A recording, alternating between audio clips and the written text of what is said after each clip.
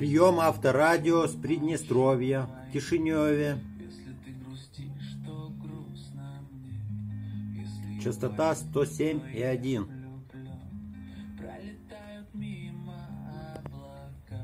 Спасибо всем за просмотр. До новых встреч. Пока.